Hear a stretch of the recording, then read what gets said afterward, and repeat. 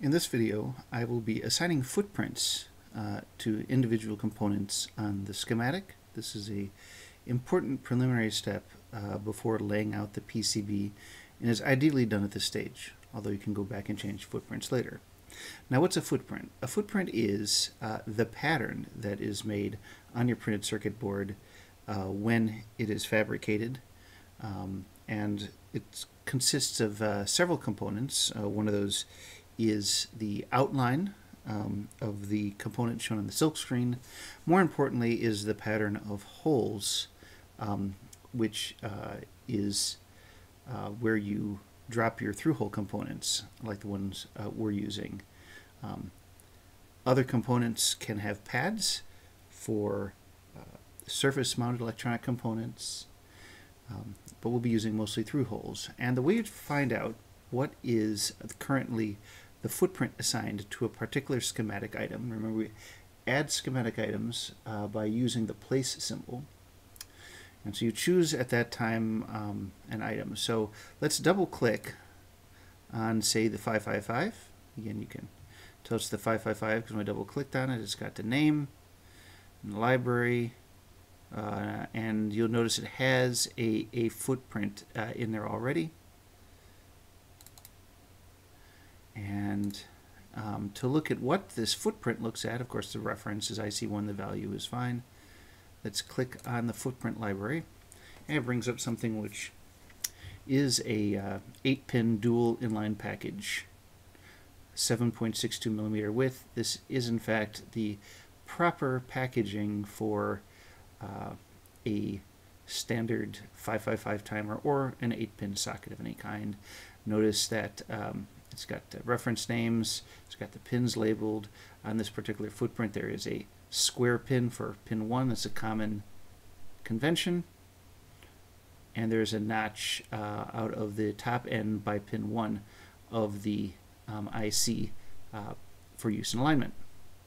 Um, having brought it up in the footprint library browser, which is what clicking on that library icon next to footprint does, I guess I could choose all sorts of other um, related uh, packages. Here are some 10 pin, some other 8 pin, and uh, 12 pin, 14 pin packages, etc., with different shapes. Uh, this also one happens because it's common. Uh, component also has a 3D shape associated with it, which means we can go up to the 3D viewer and see what it'll look like in 3D mode just on its own. And that, yeah, looks like a 555 timer. All right, we'll close this and uh, close the window here and cancel out because everything looks fine. Uh, let's look at uh, the remainder of the components. Um, start here with this 10 nanofarad capacitor 2. It's got a footprint associated with it. And a 3D view. You notice these are the same ones, of course, that were on the view from the VCO. I just copied them over.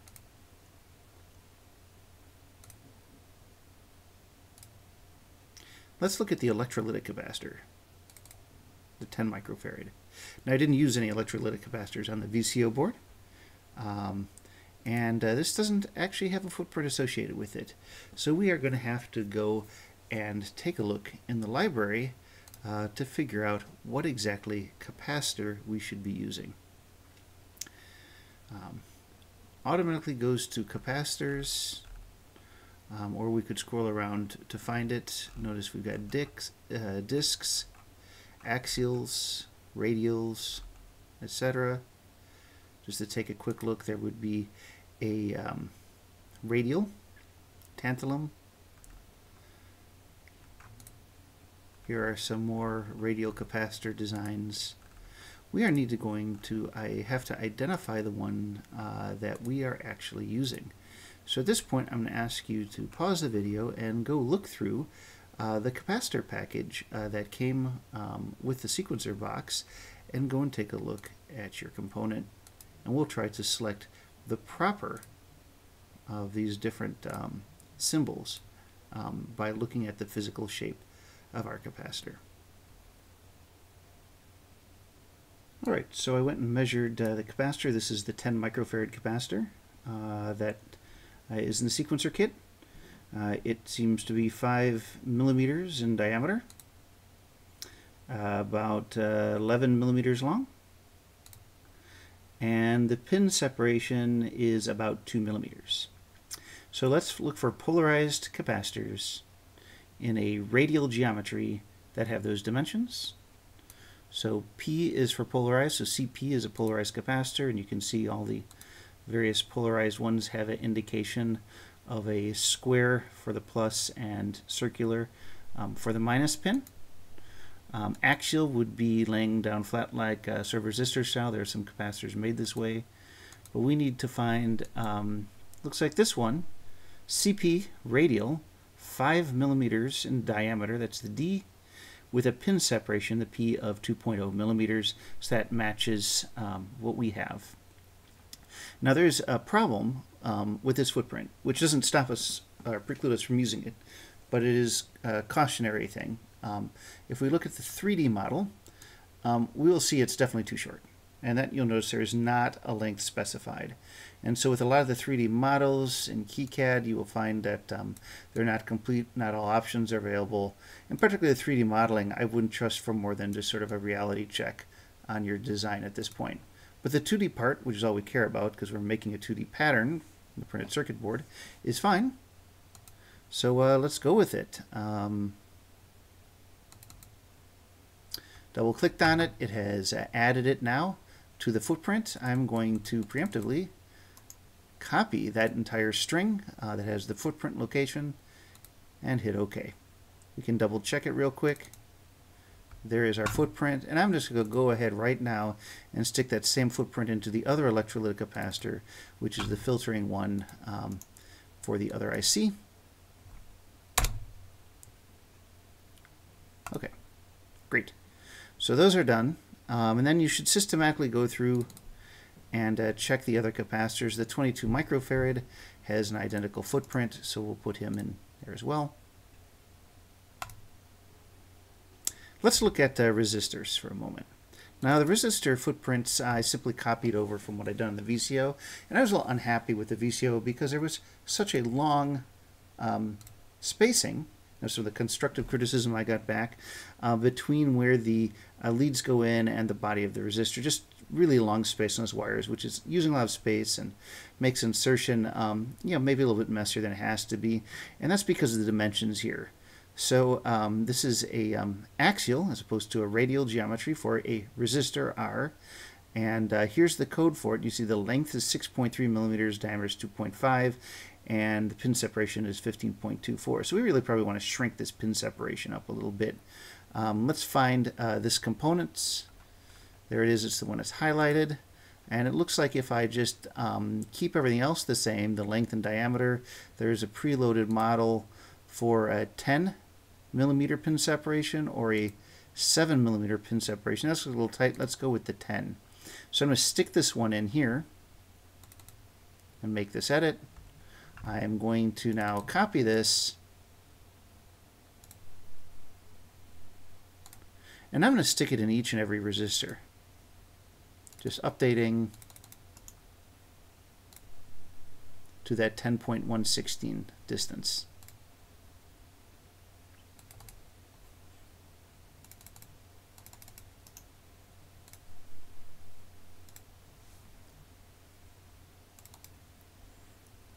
Quickly go through and find every resistor.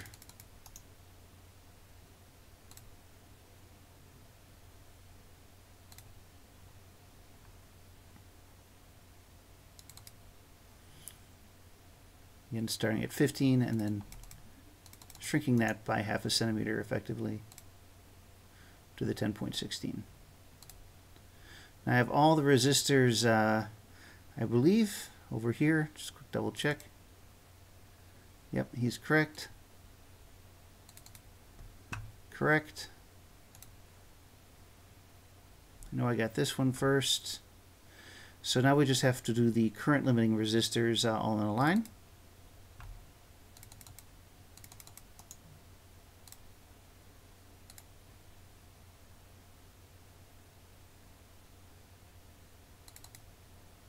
Yes, he's stuck.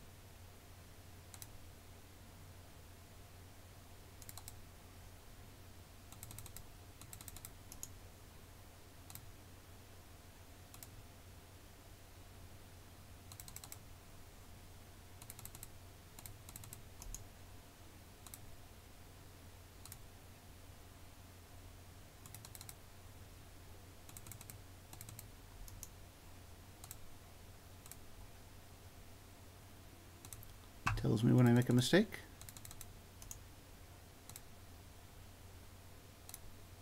Let's double check him. Looks good.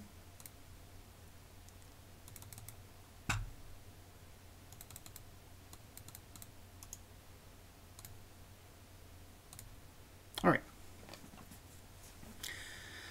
Now, let's look at some of these other components. Um, let's double check the jacks. They were looked pretty good on the uh, VCO. Fit quite nicely, I thought. We can always just take a look and see there is our jack. Um, notice that there is no 3D um, view for this jack, I believe. So um, no one's built one yet, uh, that I could find at least, and so uh, it'll just stay as is without a nice 3D render. It's a project to work on uh, for another day. Let's get to these diodes. Now, on the VCO, I had um, not done a good job of getting a nice uh, diode footprint on there. So let's go looking. Um, automatically should have brought up diodes. Nope, no diodes here. Let's go looking. Diode. SMD is for a surface mount, and TH for a through hole. All our devices are through hole. And wow, there's a lot of possibilities for diodes. Let's take a look at some of them.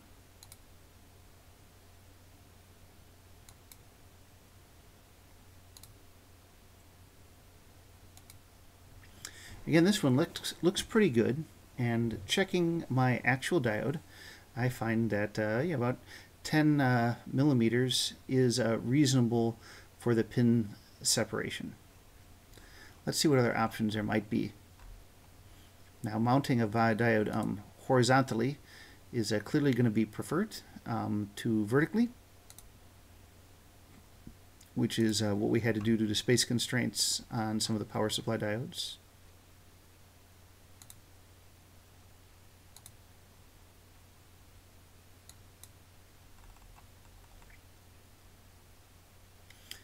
And once again, it looks like it makes sense to go and actually measure our diode diameter and uh, make sure we have the right thing.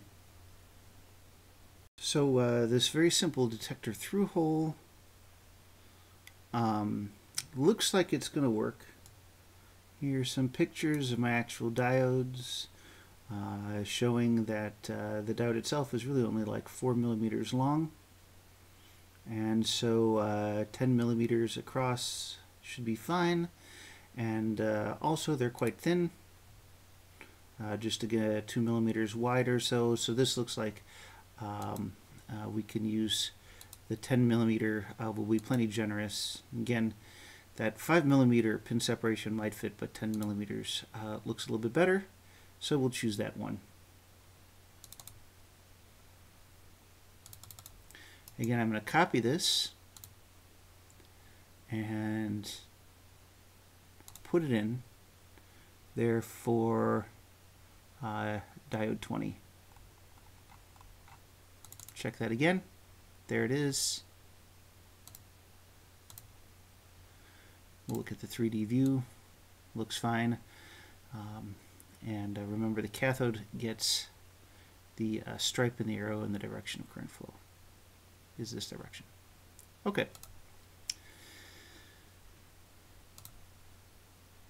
Now we have to do the rest of these. Well, we'll go straight across.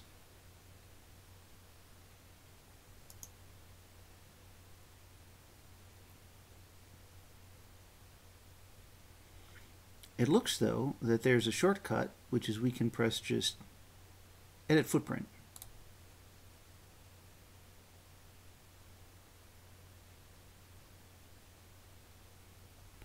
Does this work for us?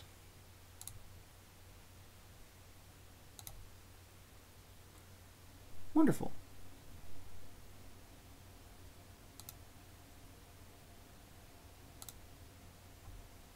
Make sure that's stuck. Great. So again, it was F is the hotkey. Paste. Okay. F. Paste. Okay.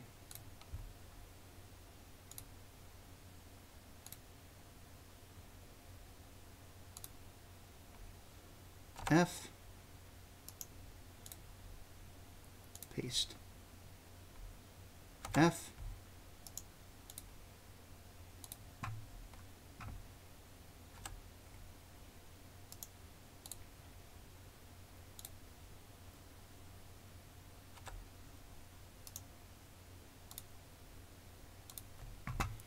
Now the second row, this is for the CV outputs. These were for the gate outputs, so CV outputs.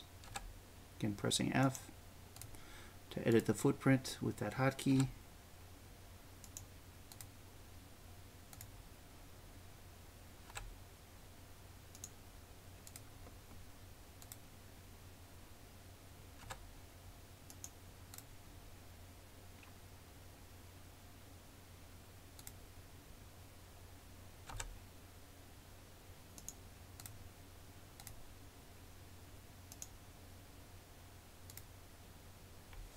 Don't want to move it, so I hit escape. Operation ends. F is what I want to press to edit the footprint.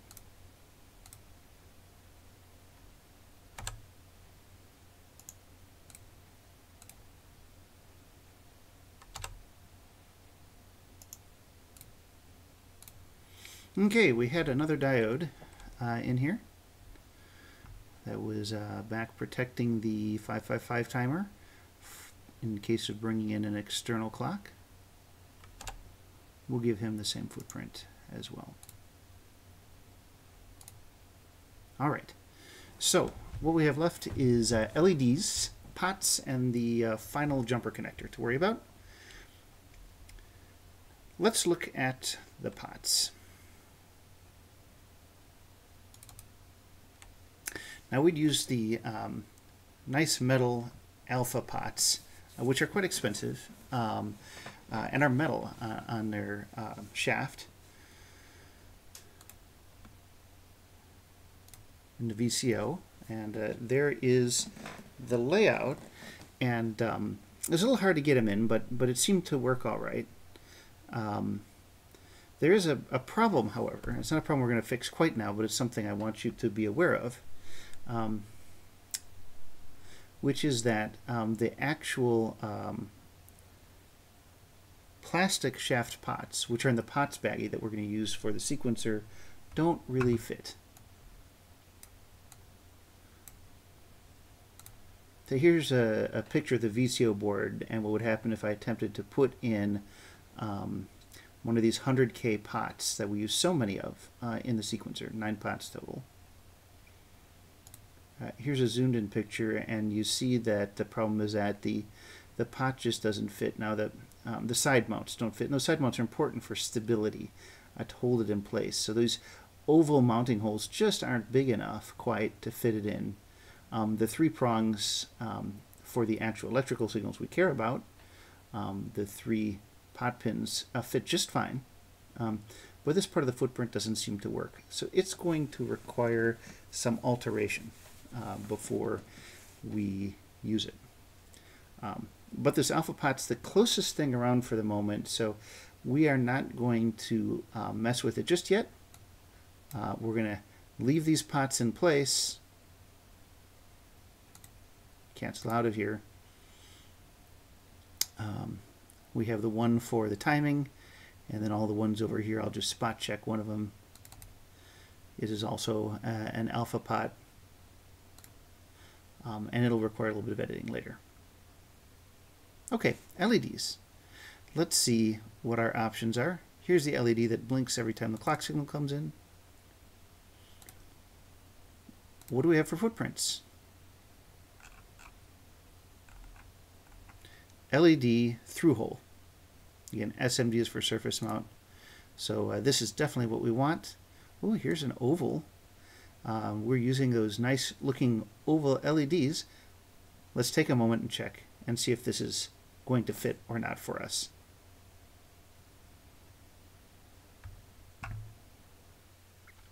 Again, taking a photo of our component, this case the red LED, we find it is just over 5 millimeters across. Uh, so that looks pretty good. Um, the height, maybe more like uh, 7 millimeters. Um, so this height isn't correct on the oval, but again, what we really compare care about is the 2D layout, and we're not going to bother to edit things to uh, change heights. Uh, so this looks like it'll fit really, really nicely. Um, let's see how it does look in 3D. Yeah, that should do quite nicely uh, for our round oval LEDs, be they green or red.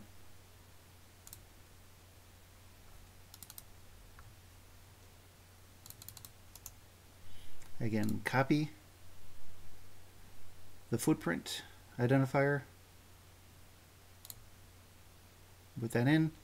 And now we'll just run through all these LEDs, again using the F hotkey.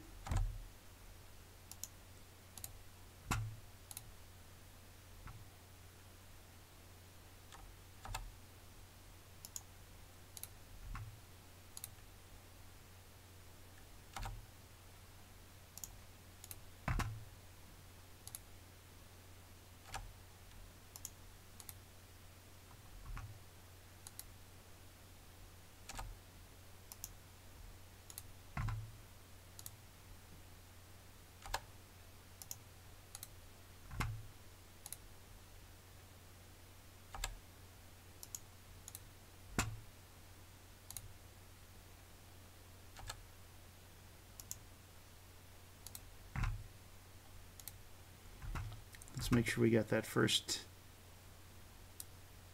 LED incorrect.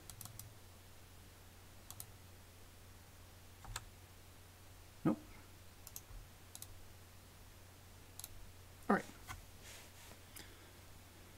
On to the last part, uh, the last component we have not uh, checked out yet, I think is the, uh, well, we connectors.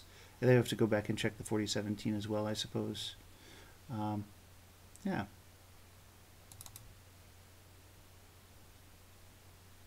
Well, that's definitely not what we want. uh, we need to go and find the connector.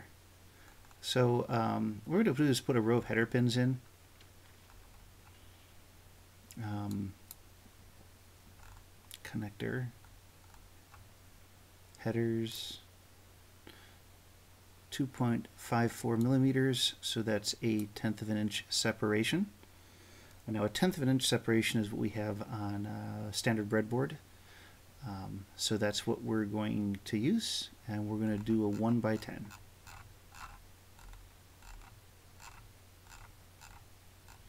One by ten, lots of options here. That's definitely not us. These are surface mount designs anyway. There's a vertical. That looks like what we want. Uh, notice some of these other formats where the pins had uh, lay flat, uh, for instance, um, aren't really of interest to us. So that here uh, is our choice. And we have two of them next to each other. So we'll stick this in.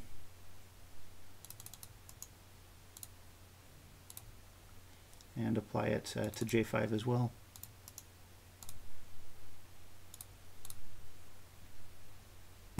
For fun, let's take a look, see if there's a 3D model.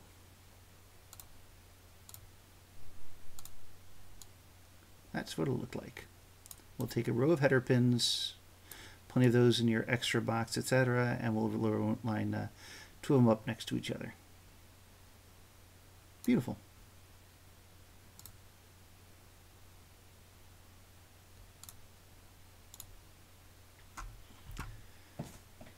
Finally, the 4017. We have a data sheet, uh, but we do not have a footprint. So you have to keep in mind uh, this is a 16 pin integrated circuit.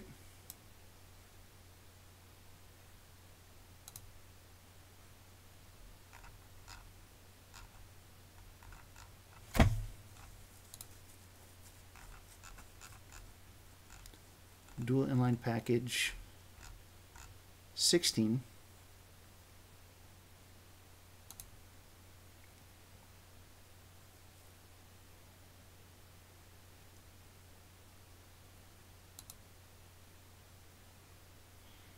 long pads option. Small pads look fine. What else do we have? It's for surface mounting so there's no holes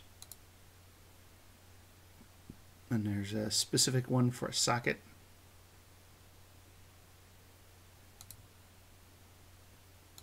The socket just seems to have an extra outline around it.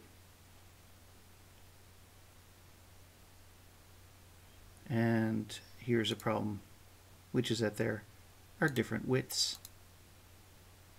even for 16 pin. So once again, we have to measure the uh, width uh, and get that correct. Um, the width is going to be the distance, it looks like, between the pins. And our choices are either 10, 0.16 millimeters, or the narrower 7.62 millimeters. We'll see which one of those matches up. A quick uh, reality check shows that 7.62 is the standard distance for the innermost set of pins on a dual inline package that fits straddling the center break in a breadboard. Uh, so that's what we're going to go with. Should fit nicely.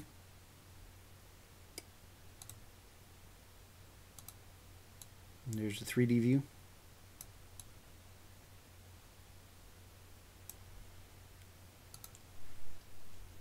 If we had done the socket it would have just looked a little bit different in 3D.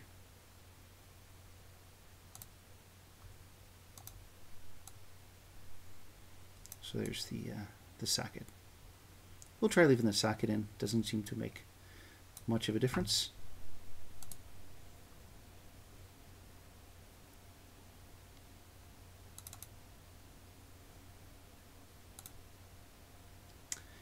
At this point, we think we're done. We think we have uh, absolutely everything accounted for. We still need to go back and do some checking, make sure we did actually hit all the capacitors, check all the capacitors up here, the electrolytic ones especially. Um, right, we're just going to use DC capacitors here, so let's make sure that looks okay. Yes, that's good. Good. Good. Good. And then finally the connector.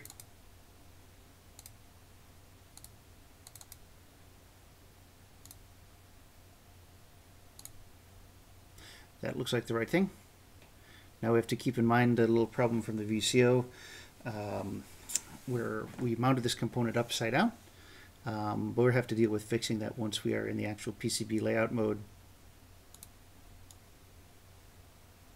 There's sadly not a 3D model uh, for this connector yet.